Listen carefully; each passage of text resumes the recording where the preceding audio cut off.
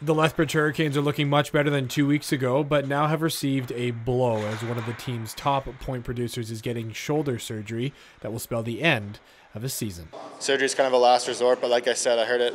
Uh, I think October 2016 was the first time I heard it, and it's it's bothered me ever since. It's it's been lingering, so yeah, it needs to be addressed. In his 19 games this season, the Red Deer native scored just that 19 points in the form of 11 goals and 8 assists. But the young forward says he'll maintain a presence on the sideline, something the team appreciates. Since I've been here, I've always been been a big rooms guy, and like I like get along with the guys really well, everyone. So obviously not playing, it's, it's never fun, but I can still pick the guys up off the ice and, and be a leader in that way. I have to have a guy like him upstairs, you know, kind of seeing the bird's eye view, seeing little things that we might not see from, from down here.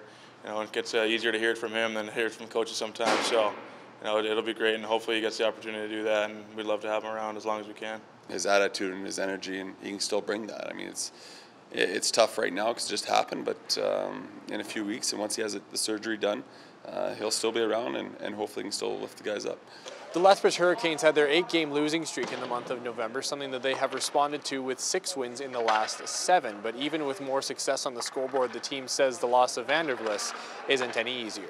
Anytime that you know you lose such a key player like that, and I mean even a good friend, you know it's uh, it's definitely a tough pill to swallow, especially you know trying to you know seeing how our division is this year, and I mean especially being my last year. No, it would have been easier if it happened this summer. We got it done there. So um, you lose a guy, it's never easy, but it's part of it.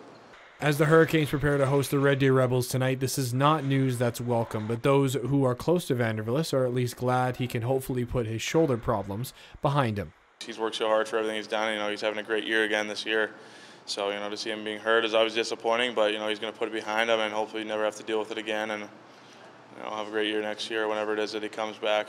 I think it's a pretty low risk surgery, so follow procedures and everything, and I, and I should be good to go. For Bridge City News, I'm Ben Matichuk.